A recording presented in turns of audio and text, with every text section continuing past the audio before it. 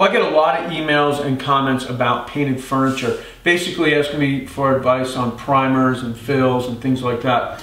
And so I thought it'd be a good idea just to make one video completely dedicated to get a, getting a decent finish on a piece of painted furniture. So what I'm going to do is first talk about some of the materials that I would use if I'm going to build a piece of furniture that I know I'm going to paint. And then we'll go ahead and paint this drawer front and cover all the steps involved. A good wood choice for painted projects is poplar. Poplar has a nice tight grain. It's really easy to work with. It very rarely has knots and it's relatively inexpensive compared to other furniture grade woods. Now for sheet goods, I like birch plywood. Birch plywood also paints really nicely and it's also readily available. If you've bought a piece of painted furniture and it's made out of pine, you want to make sure that you spot prime the knots using shellac-based BIN primer. And I usually will use two coats. Now that still doesn't guarantee that the knots won't bleed through the paint, but it will help. You'll notice that if you look at someone's home or maybe your own home, uh, if you've painted over the trim, there's a good chance that the trim was pine and you'll be able to see where the knots are. I'll take a quick picture of the fascia board of my beehive and you'll see where those knots have bled through the paint.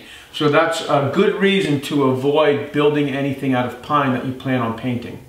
Okay, so now for finishing our piece of furniture, the first thing I like to do is sand the whole piece of furniture. I use 150 grit silicone carbide paper. It's just a good sandpaper and it holds up better than other sandpapers. You can find that at any hardware store. It's usually like a blue-gray color.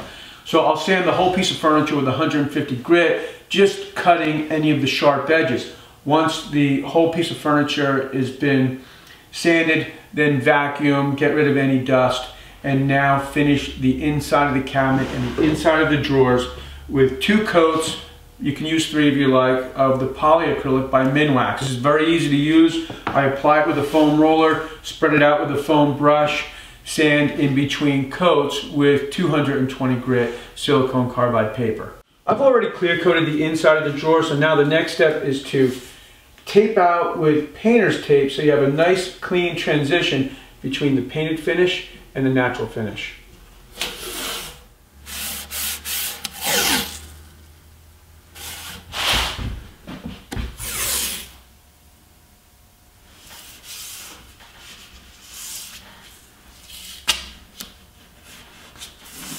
Now the drawer is ready for its first coat of primer.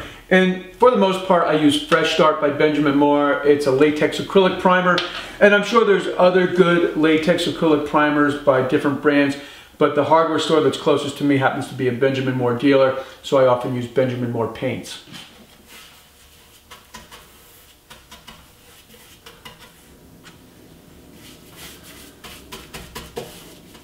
A good rule of thumb when you're painting is Always try to paint in the direction of the grain.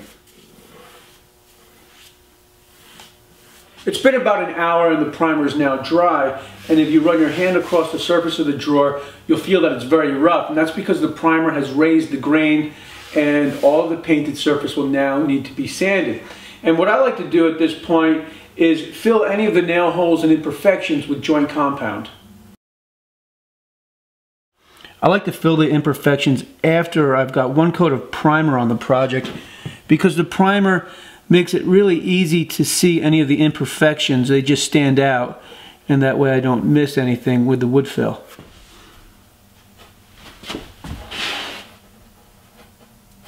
I've allowed the fill or the joint compound to dry and now I'm going to sand the primer and the fill at the same time and this is where it's really important to wear a dust mask. You really should always wear a dust mask when you're sanding, but especially when you're sanding paint.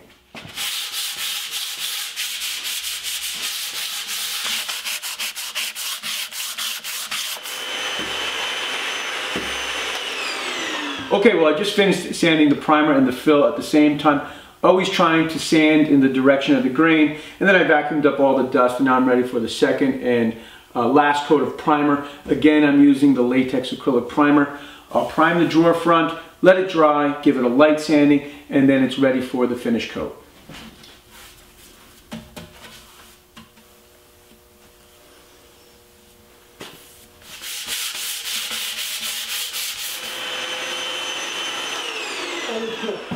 I like to let the second coat of primer dry overnight so it really has time to set up and cure.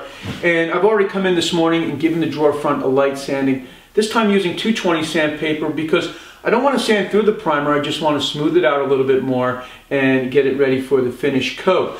Now at this point you could use an oil paint on this primer or a latex paint. I think that most people find latex paints much easier to use simply because it's a soap and water cleanup and it's a much faster dry time. And that's what I'm using. I'm using a semi-gloss uh, semi-gloss latex paint by Benjamin Moore. And because my primer is white and my finish coat is white, I'll probably be able to get away with just one coat of finish paint. I hope you found the video useful. Thanks for tuning in.